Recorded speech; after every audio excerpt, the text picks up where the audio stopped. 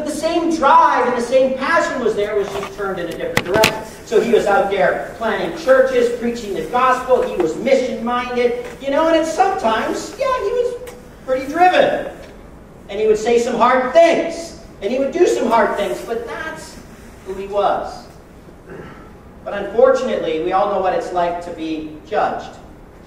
We all know what it's like when somebody sees some characteristics in us and then they make all these extrapolations, all these predictions, all these, well, he's like this or she's like this. Because sometimes if you just looked at Paul from the outside, you could think this dude is not caring. He's all about just getting it done. But we see a different side of Paul. When he starts writing Second Corinthians, we start to see this guy who deeply cares. Of course, it was always there. But again, we have to ask ourselves, how often do we judge someone? Because of a personality, because of the way that they come across, because of our first few interactions that we've had with them, and we start to make all of these other assumptions. And Paul goes, look, I care. I may have said some hard things to you in my letter, but I did it because I love you. I did it because I care. And you know what? I am feeling very anguished about a lot of things. You see, Paul cared a lot. And because he cared a lot, he also hurt a lot. Isn't that the way it works? You know, have you ever been in a situation where you try to help someone? They know they need help, you know they need help, and you're trying to help, you're trying to help, you're trying to help, but they don't take any of your direction. Paul lived that life each and every day, where he would constantly just be trying to help, and then he would just go, yeah, yeah, whatever. And so it hurt him. It did hurt him because he wanted the best for them. Not because he wanted them to follow him or do what he was he told them to do. And so Paul writes this letter and he's going on about that. He's telling them, look, I care. I wrote those hard things because I care. I'm here for you. I care. Please listen to my letter. Listen to what I'm really trying to say to you. Because too often we get bogged down in the negative. Too often we see all the bad and we don't see the good. Right. It's the same with God. It's no different than what Paul was experiencing. We see it with God too because God may address our nature, which he does. He may challenge us and stretch us, which he does. We tend to forget that God thinks you're awesome. Hmm. Right. See, Paul and all of his letters, how they all start? You rock. Now, he didn't just say that in every letter because then we'd say, oh, yeah, it's just his stamp that he starts his letters with. One letter he said, you rock. The next letter he said, your faith inspires me. The next letter he says, you saints, you're an amazing group of loving, caring fellowship. Like every letter, he addresses them personally. And he talks about how amazing, how awesome, how spectacular, how incredible they are. Yes, he eventually gets to some things that need to be addressed. Why does that get all the playtime? Why can we not focus on the fact that God had worked greatly in their lives already and done great things. And that Paul thought that they were great, and in turn, God thinks that they are great. God thinks you're great. God loves you. God thinks you're spectacular. He looks at all your great strengths and great qualities, and he is proud of himself. He is a proud papa. I made that. Uh-huh. Uh, and, and, and. Oh, and even that. I made it all. It's wonderful. Thank you. See, he can actually do that. And he does. Because he's very, very proud of us. Why can't we focus on the fact that God thinks that we are great? I know it went through your mind. Because that's prideful. Yes, it is if you're thinking because you made yourself great. That is prideful. But if you think you're great because God made you great, because Jesus is making you great, that's different. Totally different mindset. And that's the way God looks at you. So some of us struggle with a negative, you know, personality where we can't see anything in the positive light. God just wants you to think you're great. Some of us think we're great already. God wants you to think you're great for the right reasons. Right. And because of the right source. Yep. And that's kind of what we pick up here as we start 2 Corinthians chapter 3. Let's pick it up. Verse 1. Are we beginning to commend ourselves again? Or do we need, like some people, letters of recommendation to you or from you? You yourselves are our letter, written on our hearts, known and read by everybody. You show that you are a letter from Christ, the result of our ministry, written not, in, not with ink, but with the Spirit of the living God, not on tablets of stone, but on tablets of human hearts. Such confidence as this is ours through Christ before God. Not that we are confident in ourselves to claim anything for ourselves, but our confidence comes from God. He has made us competent as ministers of a new, of a new covenant. Not the letter, not of the letter, but of the Spirit. For the letter kills, but the Spirit gives life. The letter kills. Ever been killed by a letter? Oh, yes, you have. We don't call them letters anymore. We call it texting. We call it email. We call it Instagram, I guess. Tweeting. I've never done either of those. But we call it all sorts of things, but it's the letter. Have you ever read a text or an email and thought, what is wrong with this person? What are they thinking? And just because they use caps, we automatically assume they're angry at us. So all these assumptions, all these things, this is the problem with the letter. This is the problem with the words. This is the problem with writing. Writing's a wonderful tool. It's a great way to get our emotions out. It's a great way to think through things. But as communication goes, it's lacking. Because we don't see. We don't always look at the context. We don't always look at the heart behind it. And that's what Paul is trying to say here. He's saying, look, you read my letter, but did you read my letter? You saw the words, but did you see the heart? Did you see the spirit? Did you see my attitude? Did you see that I care? Or did you just say, you're bad, you're rotten, you're good, you're lousy? What did you see? What did you read? And that's where we have to be careful. That's why we need to study God's Word. That's why we need to dig in. Because if we don't, you're going to get a snapshot, you're going to get an opinion, you're going to hate something. Right. Think of even the law. It's the same principle. DUI, driving under the influence, is against the law. Now, you can follow the letter of the law, the words of the law, and go, okay, it's against the law. So what I'm going to do is avoid all major streets. I'm hammered out of my mind, but I'm just going to avoid the major streets. And anyway, I'm out in the country right now. What does it matter? See, that's following the letter of the law. You're missing the heart or the spirit of the law. What's the heart or the spirit of that law? You're going to hurt someone. In fact, you already have. But you're going to continue to hurt. See? And so easily we can get caught up in the letter instead of the heart, the spirit behind it. And see, that's what Paul's trying to defend. He goes, Do I need a letter of recommendation? Do I need people to write you a letter? Because they couldn't call, right? Or text. No, Paul's good. Go for it. Couldn't do that, so it would be another letter. You'd have to wait another long time. Do I need a letter of recommendation? Because if you read Paul's letters, if you read what he's trying to say here, at first glance you may have some bad thoughts, especially if you read 1 Corinthians 7. And I have to make a confession. 20 years ago, I'd grown up with the Bible, all that kind of stuff, but then I started to study it, and I was reading 1 Corinthians, and I thought, I thought to myself, I thought, wow, that Paul, what an arrogant man. He's arrogant. He's prideful. He's demanding. He's not very compassionate. And I had all these thoughts go through my head. Why? Well, partly because that describes me. but partly because that's the way it's written. That's the written word.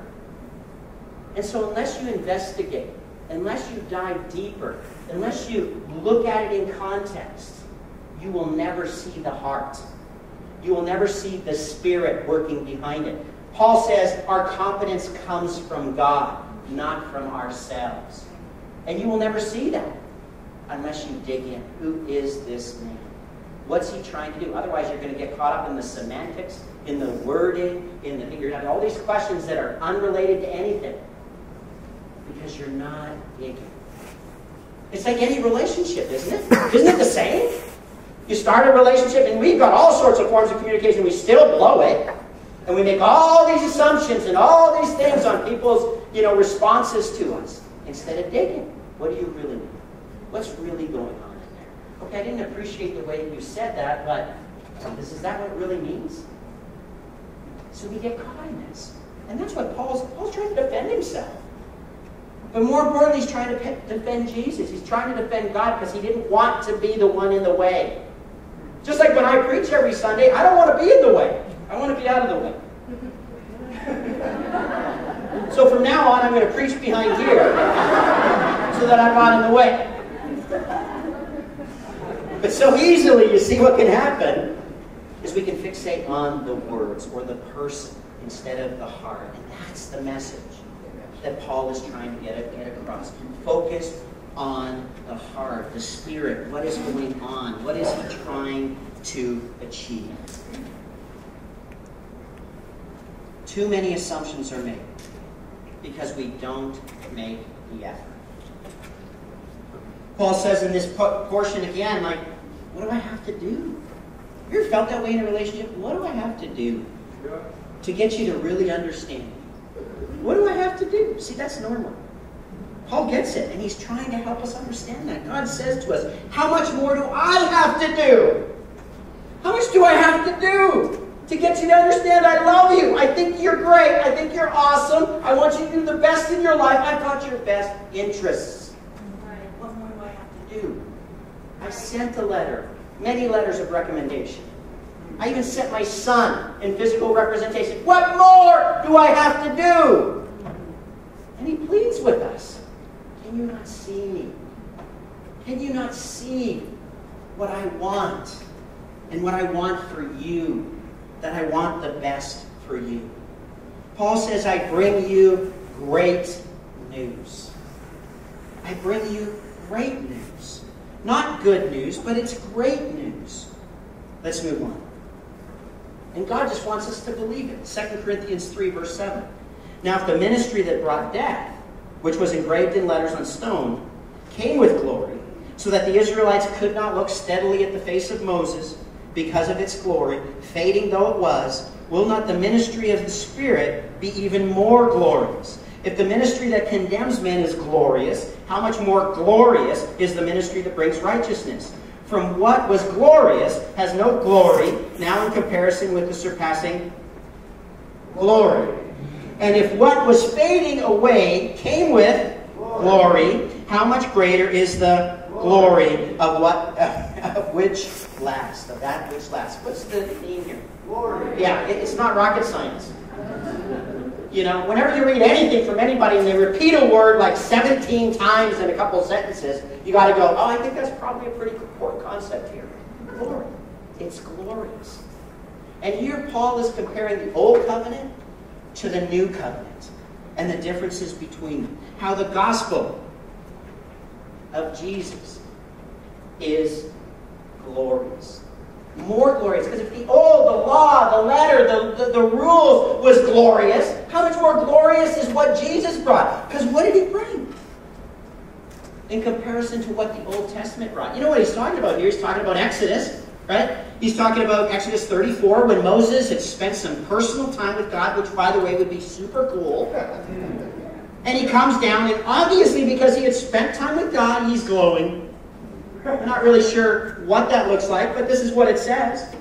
In Exodus 34, verse 29, when Moses came down from Mount Sinai with the two tablets of the testimony in his hands, he was not aware that his face was radiant because he had spoken with the Lord. The Ten Commandments. Moses spent time with God and he was radiant. He glowed. God's direction God's wisdom, spending time with God, was glorious. Glorious. Not a chore, not something to jam into your schedule, not a, oh, church this morning. I guess I should read my Bible. That's really glowing. Right? It was glowing. How much more than with Jesus? What did Moses bring? Laws rules. And at the end of the day, what happens with laws and rules? We break them. But Jesus brought a message of grace, forgiveness, mercy, the ultimate sacrifice, freedom, not condemnation, mercy, not judgment. Too many of us try to live in the old covenant. Right trying to earn our salvation, trying to be enough, trying to do enough, trying to work hard enough, trying to enough, enough, and you won't. You can't. You will fail. Too often, because of that, we look in the mirror and what do we see? Failure, Right. not victory. We see somebody who falls all the time instead, instead of somebody who's a conqueror. We see all the mistakes and the weaknesses instead of seeing that I am a winner. I have won. Do you live in the old covenant or do you live in the new? Because Jesus says you are more than a conqueror. You have won through him. So it doesn't matter what we're facing or what we're going through. You've already won. It's perspective. And so when you look in the mirror, what do you see? Do you see Moses? Do you see the old covenant, which fades quickly? Or do you see the new covenant? Do you see Jesus, the ultimate sacrifice that died, that killed, was killed, and was raised from the dead? Do you live a resurrected life? Or do you spend most of your life living on the cross? Suffering, in pain, denial, dripping of blood? Or do you spend most of your time in the grave, sleeping? I didn't know what else to go with that. What are they do? You just kind of lie there, right? So, sleeping. Or do you live a resurrected life? I'm new. I'm a new creation. I have overcome. I've got this. I've got this with Jesus on my side.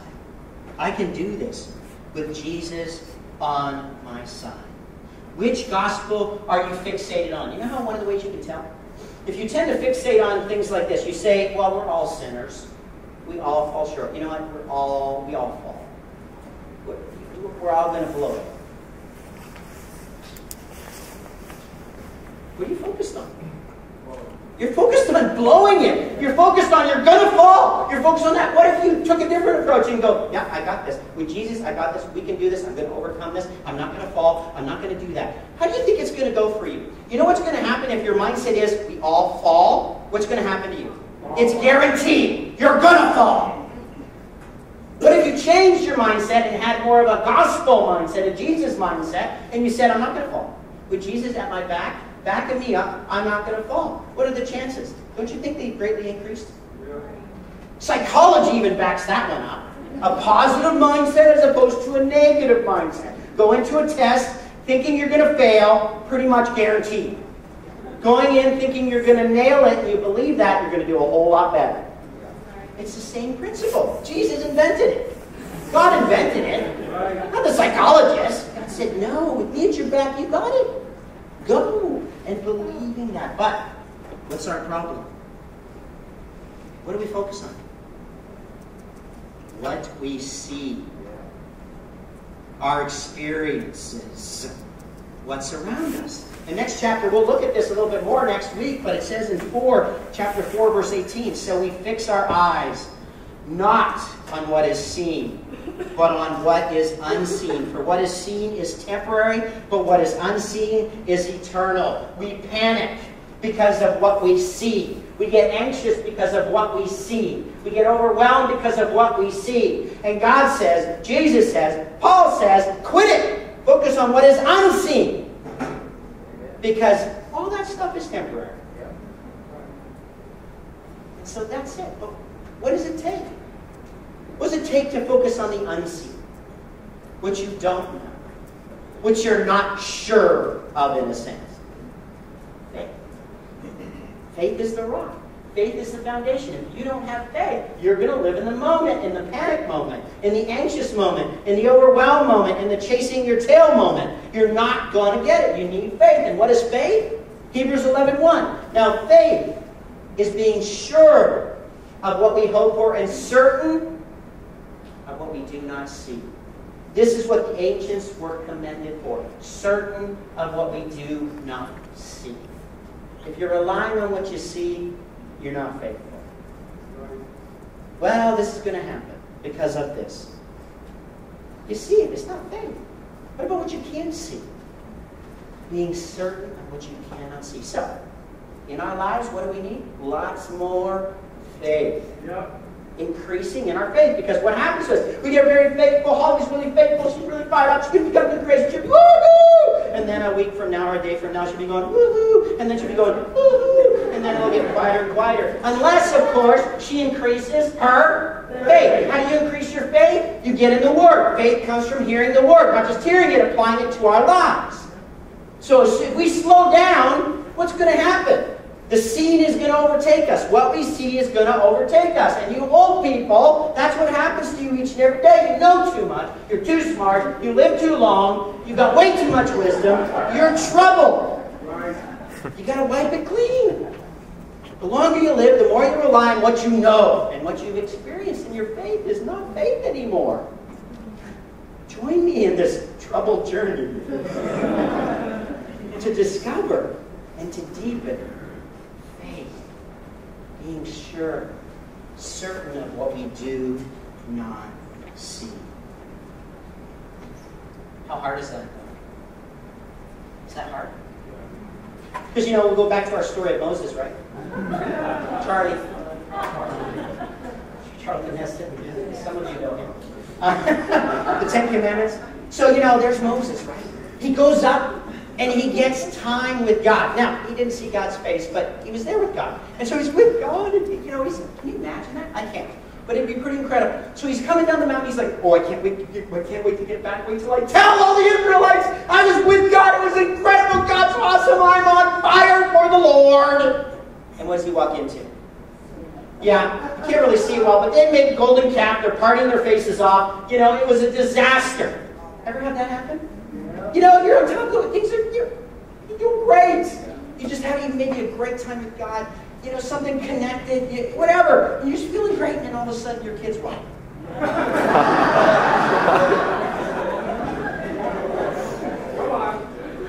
Oh, parents got that one. Okay, uh, well, you know, like, just something always happens. See, this is real life.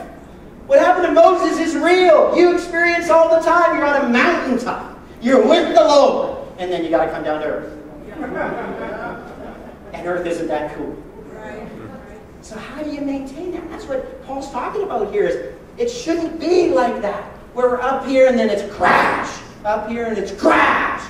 You know, up here and it's you get the point. But that we can maintain that mountaintop experience. That with Jesus, it's different. We're free. We don't have to get trapped by that because look at all the assumptions that Moses made. Now we know the whole story, but he came down and he automatically assumed that they were just blowing it. Yeah, in the moment they were blowing it, but what if they were getting it? Because we focus on the scene, what we see. A parent really understands this. You discipline your children. Teach them to do something, they don't do it. Teach them again, they don't do it. Teach them again, they don't do it. Teach them again for years. And then all of a sudden the light switch comes on, you go, what just happened? or even worse, this is more painful as a parent. You know, your children, you have nicknames for them. You don't tell them, like demons. Um, and they're really difficult. And then you send them off to, to spend time with the Walches. You know, and they come home and the Walches go, your children are amazing. And you go, demon?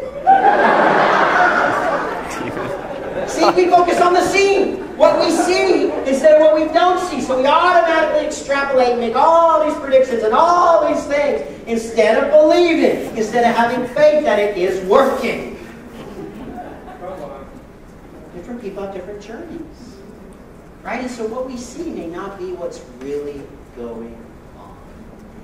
And that's where that faith comes in. That's what Paul is trying to get them to focus on is look, careful what we do with it. Careful how we approach this. Paul wants the mountaintop experience to last, to go deeper. The gospel of Jesus is more than just surface. It's more than circumstances.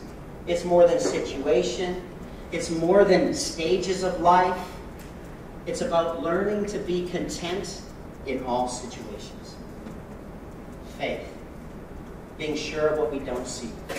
Trusting in God's grace and mercy.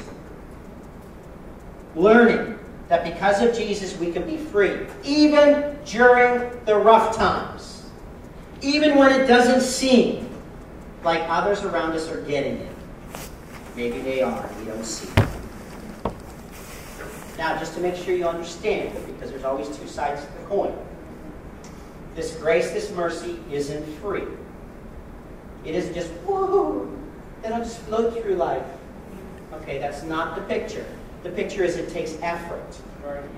Your part is effort. Your part is desire. Your part is a heart that can be cultivated, not a stubborn, hard, lazy heart. See, so we do have to provide fertile soil for the gospel to take, and that's our part. We can't make it grow. We can prepare the soil. We can prepare ourselves so that we can grow. Dig deep. See the real glow, the real light that you can have through Jesus. And Paul goes on and he talks about this light in verse 12. Therefore, since we have such a hope, we are very bold. We are not like Moses, who would put a veil over his face to keep the Israelites from gazing at it while the radiance was fading away. But their minds were made dull. For to this day, the same veil remains when the Old Covenant is read. It has not been removed, because only in Christ is it taken away. Even to this day, when Moses is read, a veil covers their hearts. But whenever anyone turns to the Lord, the veil is taken away. Now the Lord is the Spirit, and where the Spirit of the Lord is, there is freedom. And we, who with unveiled faces all reflect the Lord's glory, we are being transformed into his likeness with ever increasing glory, which comes from the Lord, who is the Spirit. Let your light shine. Don't veil it, don't cover it. It is real. It's not just words. Let it shine. God's grace, when understood, when applied into our lives, produces a light, a transformation, transforming into His likeness. In other words, makes a difference. Our world, our lives live in darkness. We're surrounded by it. Personally, we're surrounded by it. Think of all the secrets we can't tell because they hurt too much or that we think no one will understand. Think of the things that you know you should do that you don't do.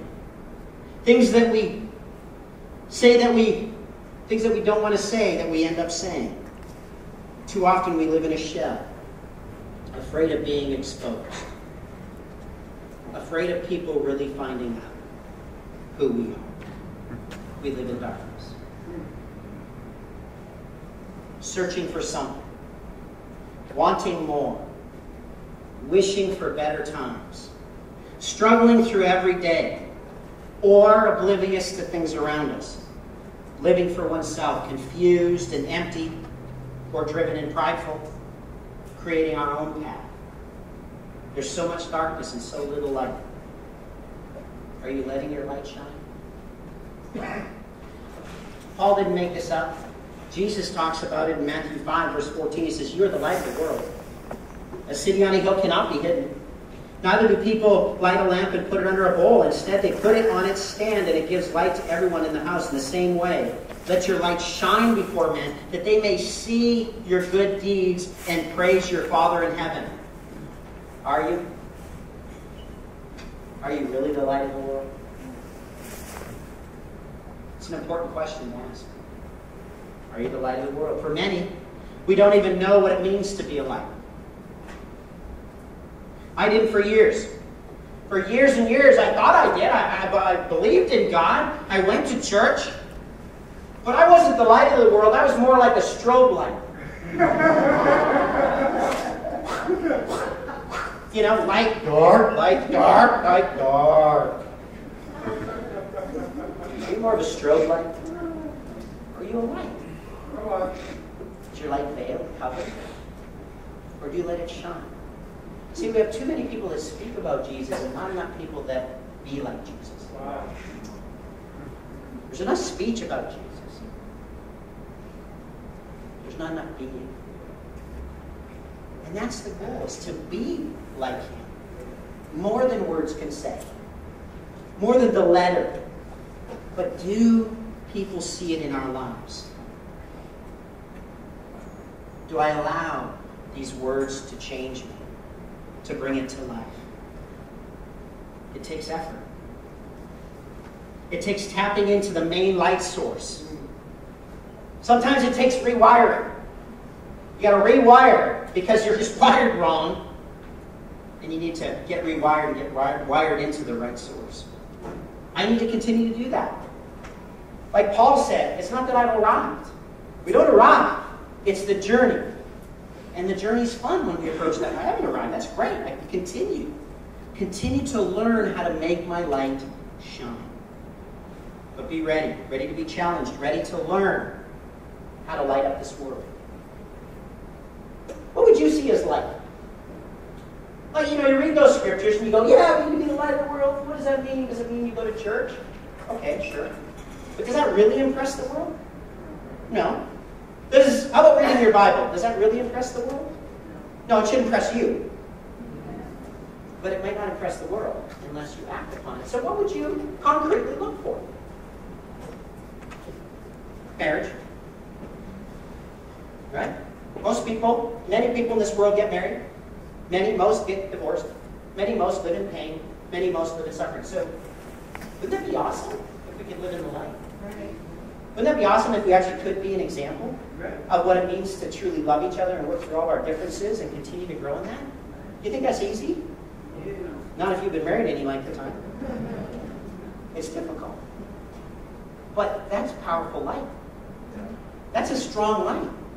When you can shine it like that, because you put Jesus, you allow Jesus to change you, to transform you into his likeness. I think anybody could be married to Jesus and remain married to Jesus. So what's my problem? You think of some of the scriptures in the Bible. Ephesians 5 talks about marriage, and it says to the husbands, it says, Husband, wash your wife with water through the word. Make her radiant. Radiant. Who was radiant? Moses was radiant. When was he radiant? When he spent time with God. Wives, is spending time with your husband like spending time with God? All right, you guys have a good day. That's just me. but it's true. That's what we're called to. Husbands, if you're trying to make your wife radiant by yourself, she's complex. But with him, it works. He takes all the pressure off. He takes all the heat off, and you have no clue what she's actually thinking because she said 15 different things in the last minute. Now, which one should I react to? Only he can help that. That's why it says washing with water through the Word. Do you ever pull out the Word? Not to correct her or put her in her place, but to wash her, to make her feel radiant. Do you care how she's doing spiritually? You see what God's concerned See when we're radiant, we make. Can you imagine if all the wives were radiant? They were glowing. They were like fired up. Would that not be a light in your community? Yeah. People go, "Oh, I want to meet this dude. He's doing something right." Right? And that's what we're called to. We're called that in relationships. Period. To be pure and holy. Imagine that. What a foreign concept in society. You're pure. What? Why on earth would you do that? What a light. Because that's impossible in this world by yourself. Right. It is not impossible. You want to turn heads? You want to be transformed? You want to send a message? The right message? The great message? The good news? Be the light. And go on and on. Make it practical. Make it real. Am I being the light? And you're going to realize that at times you're strobe light. will get plugged in. Figure it out. Get back connected to God If you're a disciple of Jesus today, is your bulb burned out? Maybe you're not just plugged into the right source. There's a big difference between the two. Plug in. And then over time, you'll have to change your bulb.